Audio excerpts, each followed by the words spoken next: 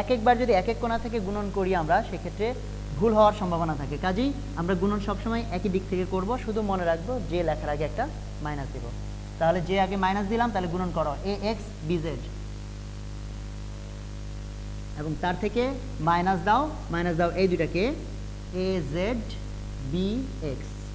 এবং তারপর আবার প্লাসকে, শুধু জের আগে মাইনাস, তাহলে এটা প্লাস, এটা মাইনাস, এটা প্লাস কে যখন নিব? তখন এইটা বাদ আর এটা বাদ থাকবে এই চারটা। অর্থাৎ A X B Y A X B Y minus A Y B X এবং খেয়াল করে দেখো, এইখানে যে জিনিসটা ছিল, এখানেও কিন্তু ঠিক সেই জিনিসটাই আসছে।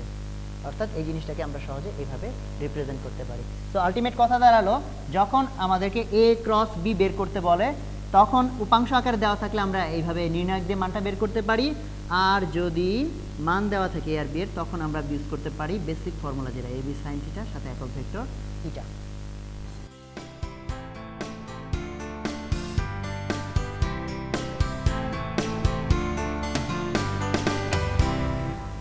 দেখো A cross B equal A B sine theta এটা। এখন, যদি এ এবং বি এই ভেক্টর দুটো সমান্তরাল হয়, আমরা জানি দুইটা ভেক্টর সমান্তরাল হলে মধ্যবর্তী কোণ হচ্ছে জিরো ডিগ্রি তাহলে তখন আমরা লিখতে পারব A B sine zero degree তারপর এটা, এবং সাইন জিরোর মান হচ্ছে জিরো মানে জিরো দিয়ে গুণ করলে একটা নাল ভেক্টর হয়ে যাবে। অর্থাৎ এইটা হচ্ছে একটা পদ্ধতি কিসের? যে দুইটা ভেক্টর সমান্তরাল কিনা, এটা টেস্ট করার। অর্থাৎ দুইটা ভেক্টর সমান্তরাল যদি হয়, তাহলে ক্রস গুণন করলে আসবে জিরো আর দুইটা ভেক্টর যদি লম্ব হয়, তাহলে এটা আগে দেখিয়েছিলাম, সেক্ষেত্রে ডট গুণন করলে আসবে জিরো তো এই কনসেপ্টটা কাজে লাগিয়ে আমরা এখন একটা অঙ্ক করব। অঙ্কটা এদিকে। এ একটা ভেক্টর উপাংশ আকারে দেওয়া আছে বি আরেকটা ভেক্টর উপাংশ আকারে দেওয়া আছে, কিন্তু এইখানে লেখা আছে এম অর্থাৎ এখানে এক্সাক্ট মান কত এটা বলা নাই। এখন তোমাকে বলল যে এম এর মান বের করো যেন এ এবং বি ভেক্টর পরস্পর সমান্তরাল হয়। তাহলে এ আর বি যদি সমান্তরাল হতে হয়, তাহলে মাত্রই আমরা দেখলাম সমান্তরাল হওয়ার শর্ত হচ্ছে যে এ ক্রস বি এটা সমান আসবে নাল ভেক্টর অনেকে কিন্তু এইভাবে লেখে যে A cross B equal to zero এটা হলে কিন্তু হলো না। কারণ দুইটা ভেক্টরকে ক্রস গুণন করলে তুমি অবশ্যই আরেকটা ভেক্টর পাবা। সেটার মান জিরো হতে পারে বাট সেটা একটা ভেক্টর সেই জন্য এটাকে নাল চিহ্ন দিতে হবে নাল ভেক্টরের চিহ্ন। ওকে তাহলে আমরা শুরু করি। শর্ত মতে এটা। সমান্তরাল হতে হবে, সেই শর্ত মতে A cross B equal to null vector তো এ ক্রস বি এটা মাত্র আমরা শিখলাম, এটাকে লেখা যায় নির্ণায়ক আকারে আই জে কে এরপর কাজ হচ্ছে প্রথম যে ভেক্টর আছে, তার উপাংশগুলো লিখব। অর্থাৎ ফাইভ মাইনাস সিক্স থ্রি তারপর লিখব বি ভেক্টরের উপাংশগুলো টেন এম সিক্স এবং এটা ইকুয়াল টু নাল ভেক্টর এরপর এটাকে ওই যে প্রসিডিউর অনুসারে আমরা গুণন করব। তাহলে আই যদি নেই, তাহলে এই দুইটা গুণ করো।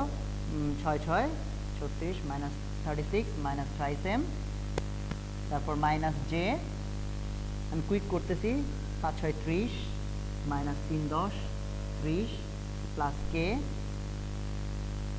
five M minus মাইনাসে প্লাস হয়ে যাবে এখানে সিক্সটি ইকুয়াল টু এই পাশে নাল ভেক্টর দেখো নাল ভেক্টরকে লেখা যায় zero I plus zero J এরকম কেন?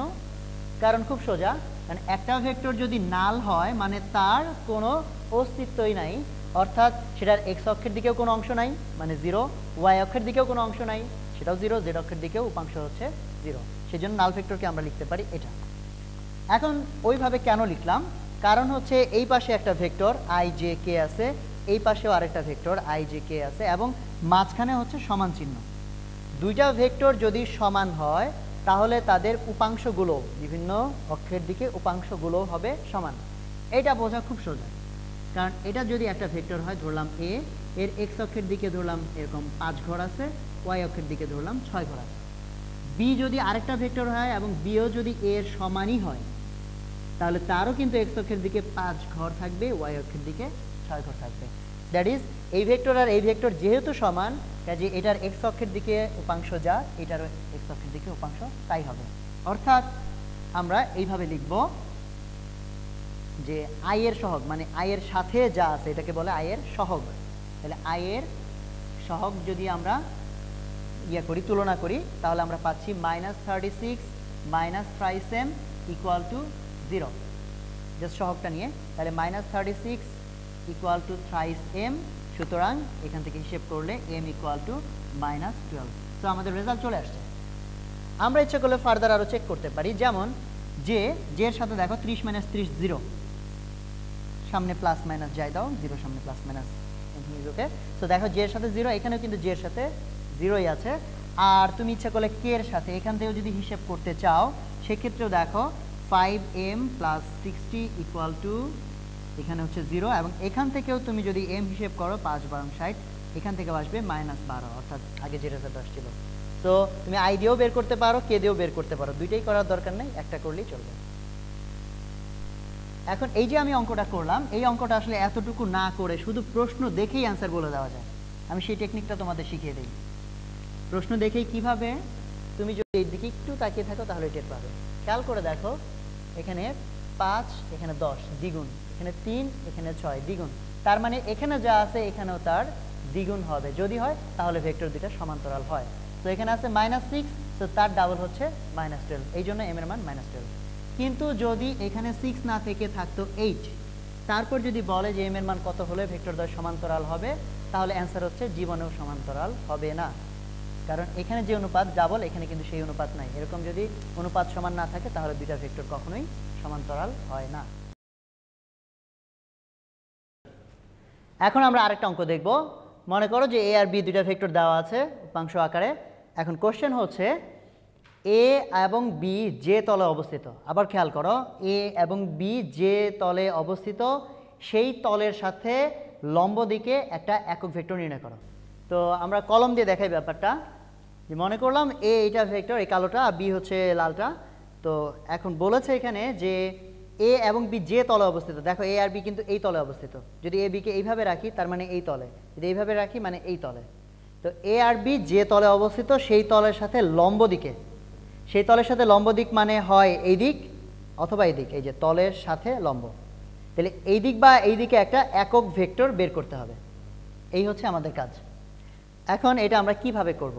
তো তুমি ক্রস গুণনের থিওরিটা মনে করো প্রথমে, যে যদি আমরা দুইটা ভেক্টরকে ক্রস গুণন করি, তাহলে যে থার্ড যে ভেক্টরটা পাওয়া যায়, সেই ভেক্টরটা থাকে এই তলের সাথে লম্বভাবে মানে এর সাথেও লম্ব, এর সাথেও লম্ব। কাজে আমরা এই অঙ্কের ক্ষেত্রে ক্রস গুণনের সাহায্য নিতে পারি। তাহলে আগে আমরা ভেক্টরটা বের করি। মনে করলাম সেই ভেক্টরটা হচ্ছে সি তাহলে সি থাকবে এ এবং বি এর সাথে লম্বভাবে যদি আমরা এইটা করি এ ক্রস বি এটা করি অথবা বি ক্রসে তো চলো আগে প্রথমে আমরা এ ক্রস বি করি। তাহলে এ ক্রস বি সেটা হবে এখানে আই জে কে তারপর এখানে two three minus five one minus one four আগের মতো হিসেব করলে আমরা পাবো হচ্ছে এটা। অর্থাৎ সি যে ভেক্টরটা, এটা থাকল তাহলে এ এবং বি এর সাথে, দুজনের সাথে লম্বভাবে। এখন আমরা কিন্তু এ আর বি এর সাথে লম্বভাবে আছে এরকম যে কোনো ভেক্টর চাই না। আমরা চাই লম্বভাবে আছে প্লাস সেটা হবে একটা একক ভেক্টর। তার মানে আমাদের কাজ কিন্তু শেষ। অর্থাৎ আমরা যদি এখন ওই সি ভেক্টরটাকে এই ভেক্টরের মান দিয়ে ভাগ করে দেই তাহলে পাওয়া যাবে এই দিকের একক ভেক্টর।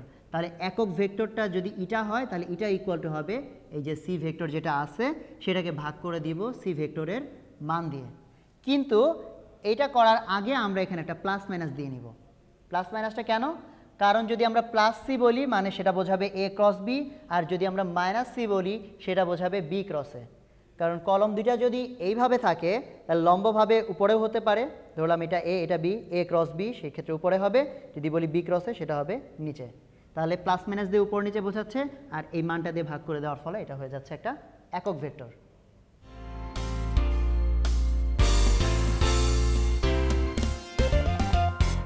তো ভেক্টরের মূল জিনিসগুলো শেষ। আমরা আর একটা টপিক দেখব, যেটাকে আমরা বলে থাকি আপেক্ষিক বেগ। এই জিনিসটা ভেক্টরের লব্ধির সাথে অনেকটা সংশ্লিষ্ট, লব্ধির কনসেপ্টটা লাগবে। তো আপেক্ষিক বেগের ধারণা হচ্ছে যে আমরা যদি মনে করি এই জন্য একটা লোক একটা লোক যাচ্ছে টেন মিটার পার সেকেন্ড বেগে, আরেকজন লোক সেও যাচ্ছে টেন মিটার পার সেকেন্ড বেগে। এখন এই লোকটা যদি দেখতে চায় ওই লোকটা কত বেগে যাচ্ছে, তাহলে ও কিন্তু মনে করবে ও স্থির হয়ে আছে। যেমন দুইটা ট্রেন পাশাপাশি সেম স্পিডে যাচ্ছে, তাহলে এক ট্রেনের যাত্রী যদি আরেক ট্রেনকে যাত্রীকে দেখে এর কাছে মনে হবে ওই যাত্রী স্থির হয়ে আছে। কাজেই একজনের সাপেক্ষে আরেকজনের যে বেগ, সেটাকে আমরা বলি আপেক্ষিক বেগ। তাহলে এই ধরনের আপেক্ষিক বেগ আমরা কীভাবে বের করব। দেখো, এখান থেকে চিন্তা করো, একটা সিস্টেম আমরা বের করে ফেলতে পারি। যেমন, এখানে এর স্পিডও দশ, এর স্পিডও দশ, অথচ এর সাপেক্ষে এর আপেক্ষিক বেগ হচ্ছে শূন্য। তাহলে সেটা কীভাবে আনা যেতে পারে? একটা সিস্টেম হতে পারে যে এই দশ যেভাবে আছে, সেটা সেইভাবেই থাকল, আর এই দশটাকে বা মানে দুইটা দশের যে কোনো একটাকে উল্টিয়ে নাও। উল্টায় নেওয়ার পর এরপর এই দুইটা লব্ধি করে দাও। এখন দশ আর বিপরীত দিকে দশ, এই দুইটার যদি আমরা লব্ধি করি, লব্ধি আসবে শূন্য। সো আমাদের যে রেজাল্ট দরকার ছিল যে একজনের সাপেক্ষে আরেকজনের আপেক্ষিক বেগ শূন্য, সেটা কিন্তু আমরা পেয়ে যাচ্ছি। কি করলে? একটা ভেক্টরকে উল্টিয়ে দিয়ে তারপর লব্ধি করলে। এখন প্রশ্ন হচ্ছে যে দুইটা ভেক্টরের মধ্যে আমরা কোনটাকে উল্টাবো? কাজে আমি এখন জেনারেলাইজড নিয়মটা বলে দিচ্ছি। নিয়মটা হলো